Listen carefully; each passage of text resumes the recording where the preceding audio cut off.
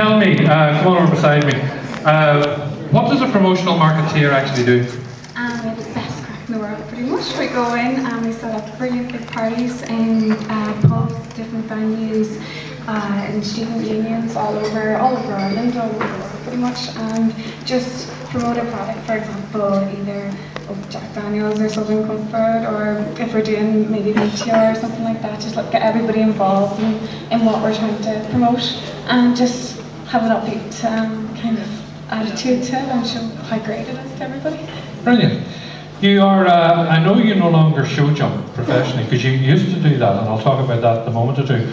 But when did your love of all things equestrian start? Pretty much, um, one of my best friends used to um, go horse riding, so pretty much um, me and my mum just decided sure make as well. I tried my hand the piano and the guitar and all that crack and oh, I just I wanted to be out, outdoors and like roaming pretty much. So um, yeah, just started when I was about four years old and my first pony was called Pepsi and nearly killed me a million times so I should have learned then but you know it's just pretty much a love of mine from the word go just absolutely adore animals. How, how far did you get in, in, in the sport and where, where did you show jump?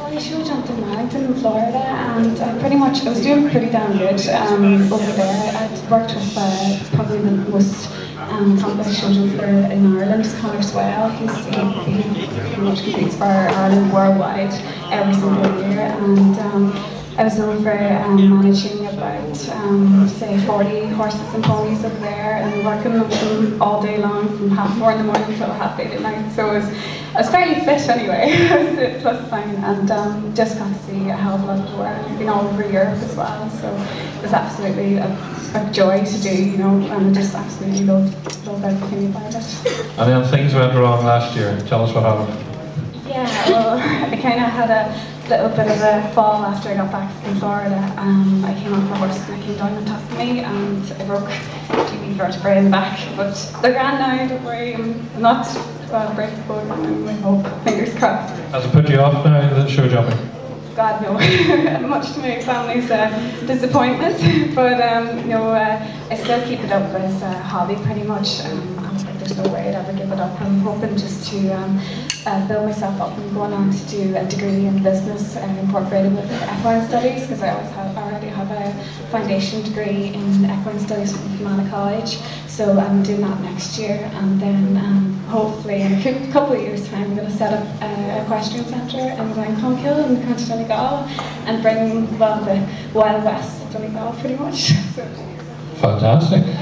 Your, your, your love of art, Tell me about it.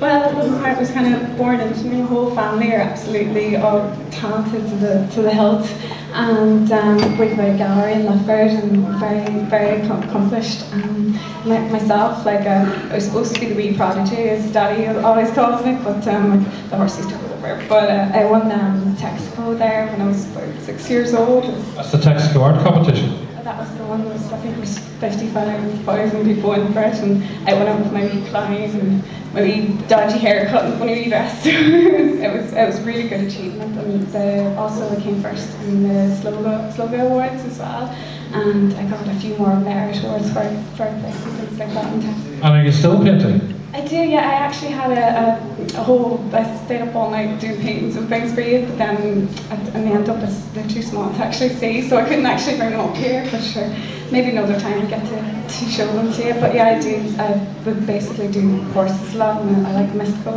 creatures as you know, like dragons and stuff like that. So do, do a lot of everything, you know, so it's, it's really, really good pastime Tell me more about your family, any brothers and sisters?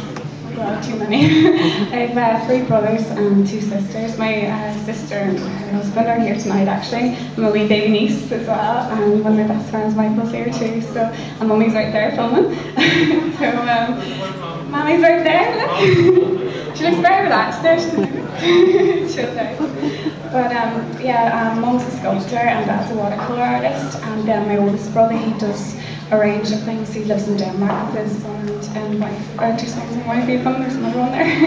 and um, then uh, my other two brothers, they've all done degrees in art and one has a master's in multimedia and they've all um, got uh, pretty much, one of them's um, got, uh, oh what do you call the word, I've gone blank now. Um, he's got a placement over in Leipzig and he's doing his masters over there. So all that to live up to. So I'm going to beat them though. Don't worry. Talented, the family. Right away from all that now, I know mommy's filming this, this is going to go on record now, but boyfriends? Uh, yeah, yeah, right in there. Does mommy know who the boyfriend is? Uh, yeah, I'd say she does probably. Do you know mommy? Do you know who he is? I think so. Is he here tonight? Um, no, No, he isn't. Where do you see yourself five years' time? What do you hope to be doing? I hope I'm going to have my degree behind me and to just travel the world. Pretty much, I really want to see every like going to Florida and everything and all over Europe has got opened my eyes so much. I absolutely adore the other cultures and I love to get to Asia and Russia and all those different cultures. And um, also, after I get, I'd like to do take on a few more certificates like a TEFL or something and teach English as a foreign language also because I think it's absolutely brilliant to do things like that. And I've also done some work with uh, Trócaire and they do different campaigns where they send people over to over to the new countries and I'd love to be part of that maybe to go over to like an orphanage, orphanage or something and work there because cousin of mine did that and she said it was absolutely mind-blowing experience just amazing so I'd love to do that as well Are you a girl who, when she decides to do something, will see it through?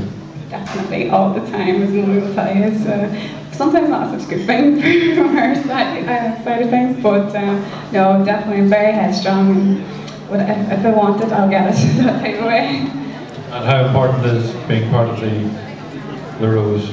Oh, I just, I want to show everybody just exactly what Donegal is